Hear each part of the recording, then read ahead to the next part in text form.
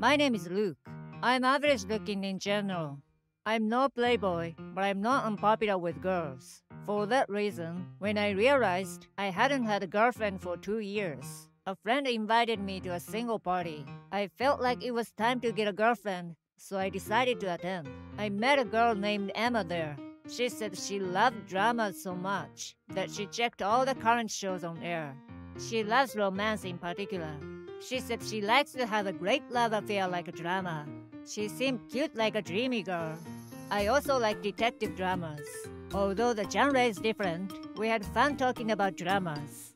We exchanged contacts for the time being. The first date was also drama talk, but it was also pretty fun. It was comfortable to be with Emma, so I decided to date her.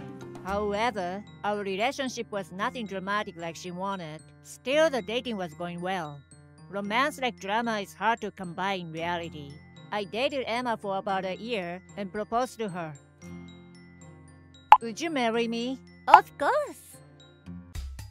Emma gladly accepted my proposal. We got married as scheduled with blessings from each other's family. Emma quit working after marriage and became a housewife. As usual, Emma still loves dramas. She watched many of her favorite dramas without fail, but she does the housework well. When I get home from work, her home cooking is prepared every day.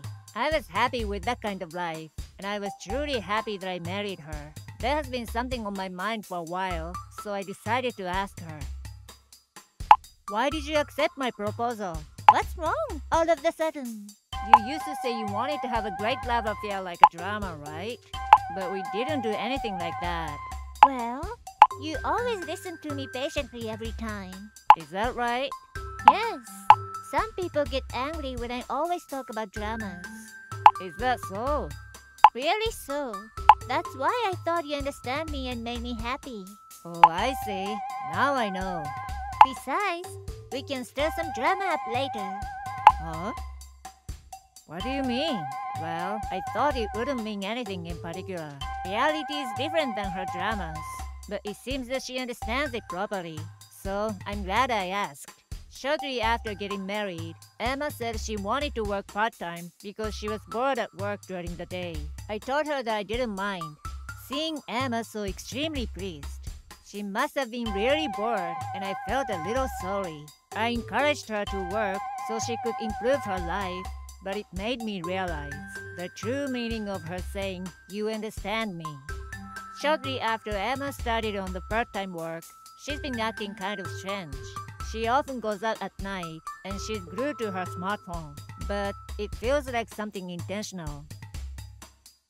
You're late. Oh, look, I'm home. I was invited to go drinking by a friend that I met at work. I had a blast. That's what you said before, and you came home late. Is that right? Sorry. Even though Emma's behavior was suspicious, she didn't seem to have a guilty conscience, but she seemed happy somewhat. How should I say? I felt like she was waiting and seeing my reaction. It feels very strange. One day, I was walking out of the office during a break. I saw Emma with a stranger, a man.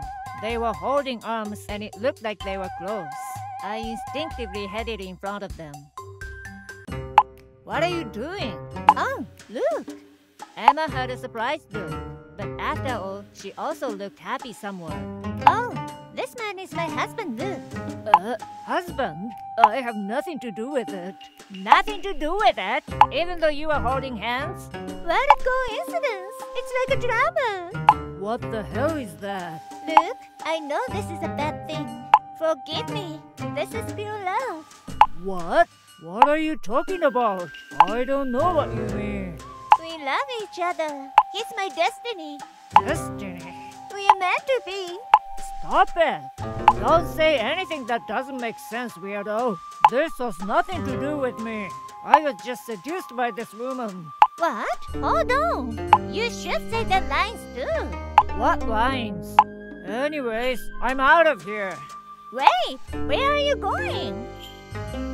Are you going to explain what this is all about? I thought there was something wrong with you lately.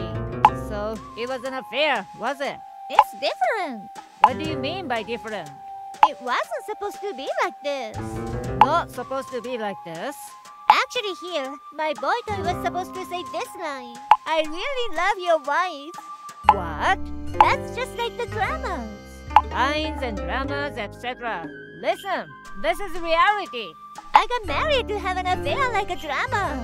Are you out of your mind? I thought you must have understood that kind of thing about me. Understand? When I heard that, I felt dizzy suddenly. I couldn't comprehend Emma at all. It's a failure. Now I have to choose a drama-like romance partner. Don't play games. What is it? Didn't you understand me? Who the hell would understand that? You're having an affair? I'm going to divorce you. I'm not divorcing you. If I do that, I can't have an affair. What? It's dramatic because I'm a married woman. It's ridiculous. Reality and dramas are different. It's not different. Life is a drama. It may be true, but, uh, we're divorcing anyway. I wanted to get away from Emma and her insane way of thinking. I no longer cared about the man who she was having an affair with. She started to look less human and more like a creature to me. I can only see her as a natty basket case. I was looking at her face during the discussion. Only this thing came to my mind. Surprisingly, her face may look like cashew nuts. No matter what you long for drama, it's the truth that my wife had an affair, and divorce would be acceptable. Even in such a situation, Emma was still like this. It's different from the scenario. After that, it seemed that Emma quarreled with her affair partner, and he sued Emma contrary to the usual situation. Apparently, it's gotten bogged down. Well, it doesn't matter to me anymore. After the divorce, Emma has been working non-stop. She's facing serious financial difficulty due to the cost of trial with an affair partner, etc. She doesn't seem to have time to even watch a drama at home. After this incident, I hope she gets back to reality instead of pining for drama. Maybe she was having trouble making ends meet. She got in touch with me and asked me to start over again. Of course, I blocked everything. I don't want to get involved with her again. Certainly, life is a drama, but still different from TV dramas. This is reality. That being said, after the divorce, I can't seem to be able to eat nuts anymore. Luke, are you alright? Your ex-wife was having an affair with a man from her part-time work, right? Right. Since the moment she said she wanted to work part-time, I guess the purpose was to find a man.